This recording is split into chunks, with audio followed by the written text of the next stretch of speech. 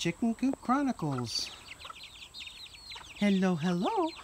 I'm going to let all the ladies out and the unknowns, the little ones. They've gotten so big. Can you see that? See how big they are? My goodness. Now, poor Autumn over here. She has been broody, and the other day I stuck a couple of the chicks underneath her, and that seemed to break the broodiness, which is great. But then she got broody again today, and she had an egg that had broken underneath her. And so she was covered, covered with egg yolk and stuff. So I took her inside, and I'm sorry I didn't film it for all of you. Took her inside, washed her off, brought her back out. She seems to be feeling better now. But it's late in the day, and I usually let them out in the afternoon, but today it was raining in the afternoon, so I'm going to let them out now. Hello, hello. Come, come. Come on out. Look at the rush. They're all so jealous of their freedom.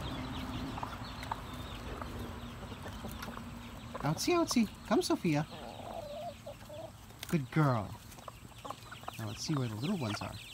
Look at them.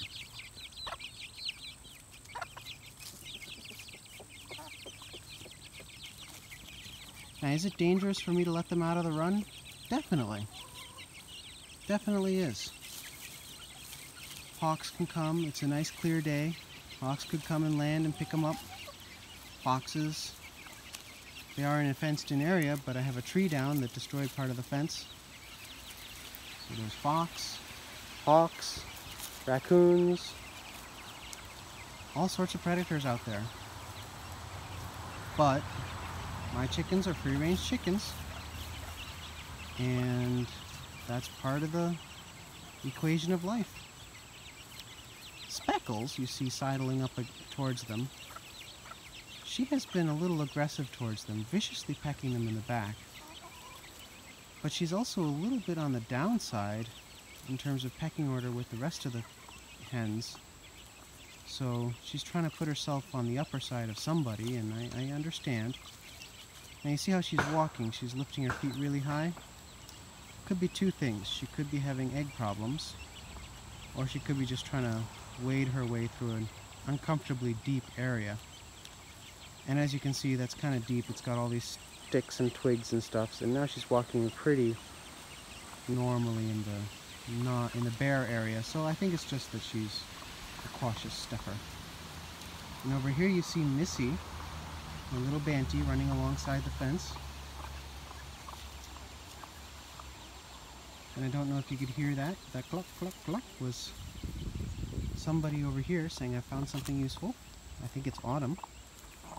Yep, that's Autumn.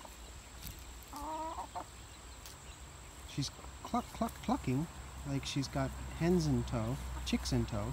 And she kind of does. See, Blackie just came up to her to pick up what she was picking up. So that Blackie is her daughter, actually.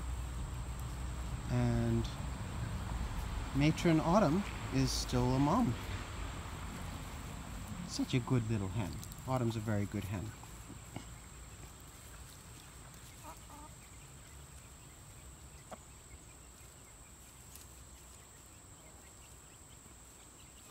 Well, the gardeners are out, and I shall let them garden. Take one more look at the little fledgling gardeners. Hey, Speckles. It's okay, Speckles. Speckles is quite shy. It's okay, Speckles. It's a good lady.